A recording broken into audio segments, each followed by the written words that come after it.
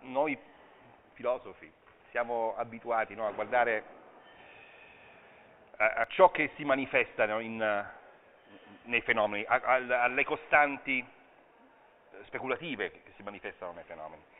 E, ehm, la cosiddetta arte contemporanea, se noi la intendiamo nel, nel senso eh, installazionale, ecco, e, si autodefinisce arte, ma per esempio uno Heidegger l'avrebbe subito bollata come non arte.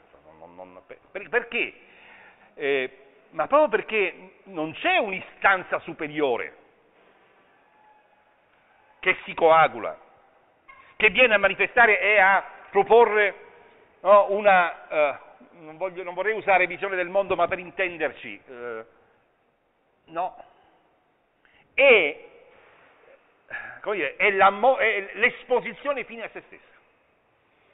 Eh, Benjamin, per tornare a Benjamin, Benjamin è importante, è importante proprio perché eh, è, è, è, il filosofo della cosiddetta dialettica inevitabile tra valore cultuale e valore espositivo di ogni opera d'arte. Cioè ogni opera d'arte ha queste due istanze sempre, no?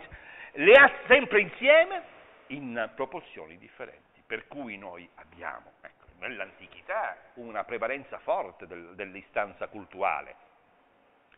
Dall'antichità fino, possiamo dire, eh, Benjamin in particolare dice, fino alla Madonna Sistina di Raffaele.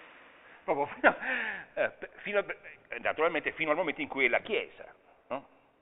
a, a, essere la committente per, per, per eccellenza. Però, ecco, se da, da, quel momento in avanti l'istanza prevalente sarà quella espositiva, non significa che quella culturale è finita, né che prima non esistesse anche quella espositiva. Sono, io ho fatto dei corsi su questo, quindi posso permettermi, di, di, in ogni esperienza artistica comunitaria, cioè dei vari popoli, è evidente la doppia istanza. Nell'arte cosiddetta tale, contemporanea, è scomparso completamente completamente il lato cultuale se non in una ridicola controfigura di, era, di, quello che era il culto in senso religioso.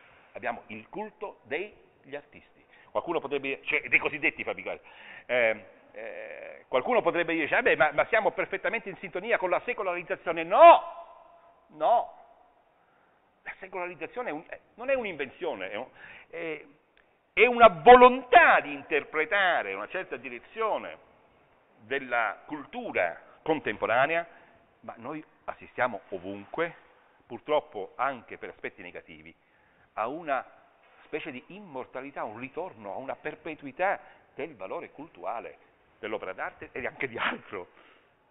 Quindi, ecco, per Benjamin, diciamo semplicemente, non, voglio attribuirmi, ma per Benjamin L'installazione oggi è valore espositivo fine a se stesso, dunque fuori da quello che è l'opera d'arte, che deve mantenere entrambi, entrambe le istanze per essere tale. Il cinema è meraviglioso, perché le mantiene.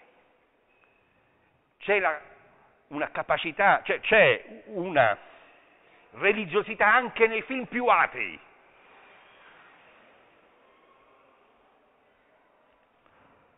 Santa Sangre, per esempio, non so se Jodorowsky, tutto c'è, ecco, ma c'è una cultualità nel senso più autenticamente religioso, cioè laddove è una energia luminosa, secondo Rudolf qua insegna, luminosa, che diviene parte di una ritualità comunitaria nell'arte installazionale, arte sempre fra virgolette, si esprime solo se stessi. In Buñuel è una sensibilità